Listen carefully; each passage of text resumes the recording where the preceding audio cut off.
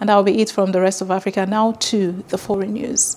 World Health Organization has announced vast global gap between funds needed to fight the COVID-19 pandemic and funds committed. According to the WHO, just about only 10% is available for the funding of the billions of dollars required. Jacinta Obuku now reports.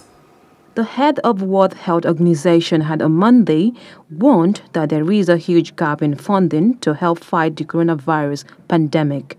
Tedros Ghebreyesus said at a news conference that there was a vast global gap between the organization's ambition for a fund known as Access to COVID-19 Tools Accelerator. We have to fundamentally scale up the way we're financing the ACT Accelerator and prioritize the use of new tools there is a vast global gap between our ambition for the ACT Accelerator and the amount of funds that have been committed.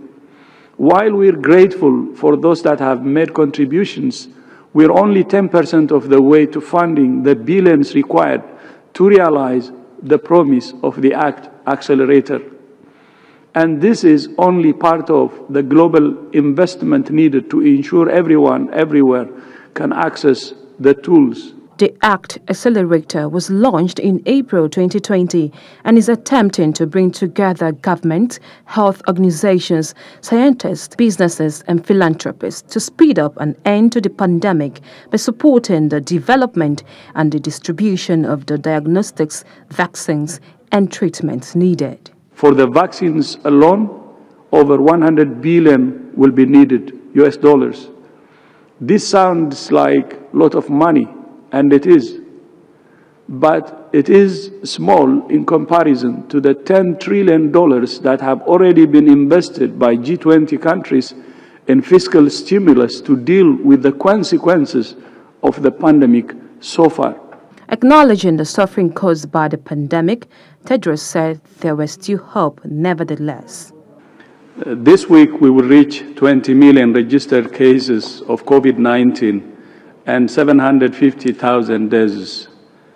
Behind these statistics, there is a great deal of pain and suffering. Every life lost matters. I know many of you are grieving and that this is a difficult moment for the world. But I want to be clear.